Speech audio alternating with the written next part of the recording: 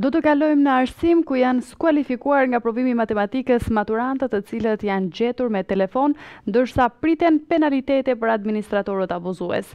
Ministria e Arsimit nuk deklaron numrin e nxënësve dhe të mësuesve të cilët do të ndëshkohen, pasi çështja është ende nën hetim.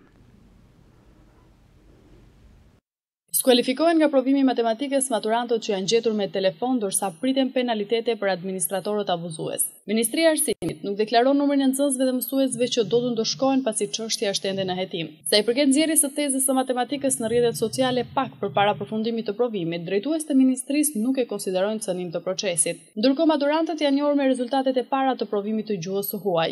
Sipas vlerësimit, të rinjtë kanë njohuri shumë të mira në gjuhët e huaja, veçanërisht në anglisht. Ministria e Arsimit deklaron masa dhe monitorim të rreptë dhe në njëzet e katër qershor për dy provimet me zgjedhje. Testi i matematikës u shoqërua me probleme krahas nxjerrjes së tezës në rrjetet sociale pas përfundimit të provimit, disa gjimnazistë denoncuan administratorët për abuzime dhe nxjerrje të përgjigjeve të sakta.